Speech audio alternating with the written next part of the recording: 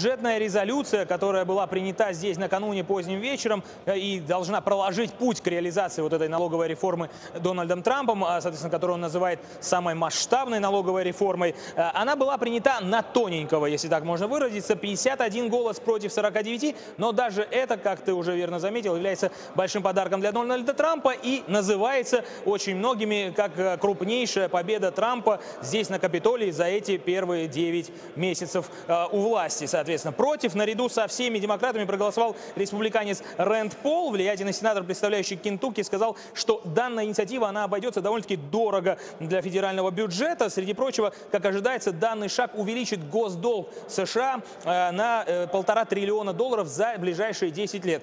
При этом в то же время снизит, рас, снизит расходы бюджета на 4 триллиона долларов за тот же период. Лидер сенатского большинства Мич МакКоннелл э, больше уделил внимание вот именно налоговой составляющей, говоря о том, что есть уникальная возможность поднять экономику после периода стагнации, затянувшегося периода, и изменить неэффективную налоговую систему. Его поддержал также сенатор Джон Маккейн, э, который при этом заметил, что он сделал это лишь по одной причине. По какой, предлагаю сейчас послушать, а также послушать жесткую критику со стороны демократа Берни Сандерса. Господин президент, я пришел поддержать бюджетную резолюцию по одной причине – поскольку она ведет к рассмотрению налоговой реформы в Сенате. Я полностью поддерживаю попытку изменить обременительную налоговую систему США. Надеюсь, реформа приведет к упрощению налогового кодекса, укреплению среднего класса и, безусловно, даст толчок нашей экономике.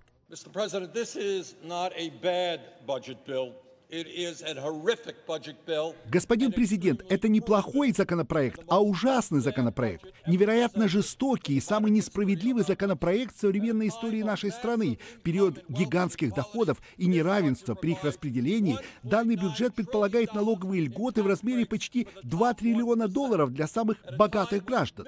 Период, когда миллионы работающих семей находятся в бедственном положении, этот бюджет урезает триллион долларов из программы Medicaid. 15 миллионов американцев могут потерять медицинское страхование.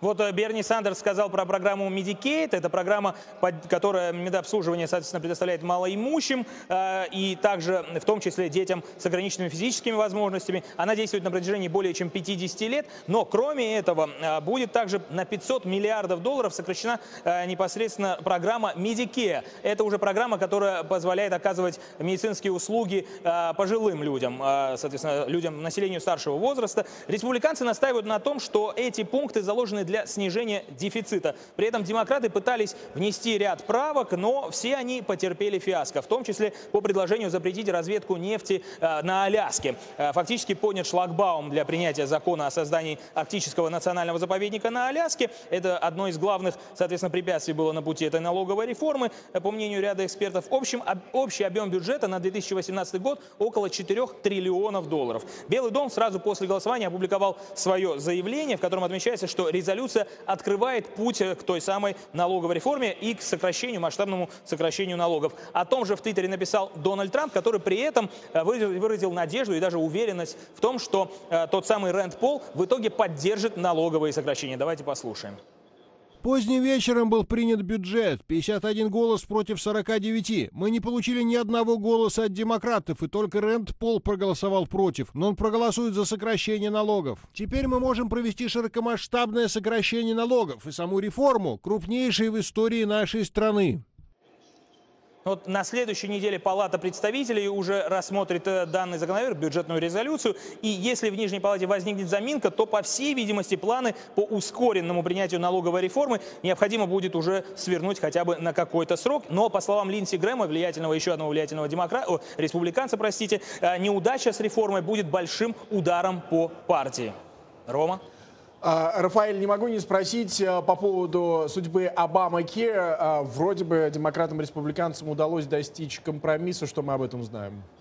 А, да, непосредственно э, инициаторы данного законопроекта, республиканец Ламар Александр и демократ Пэтти Марой, заручились поддержкой в общей, в общей сложности 22 других сенаторов, 11 республиканцев, 11 демократов соответственно, с целью принятия вот этого краткосрочного решения по программе здравоохранения. Двухпартийная договоренность по Обамаке позволит возобновить субсидии для страховых компаний, что позволит, э, опять же, по словам этих инициаторов данного законопроекта, э, избежать хаоса в 2018 году со страховкой страховками. Э, среди прочего, будет увеличено финансирование, возобновлено, точнее, финансирование в размере 106 миллионов долларов для федеральной программы. И в обмен на это республиканцы смогут дать штатам больше гибкости относительно вообще выбора планов. То есть выбора планов сохранится, их будет довольно-таки много.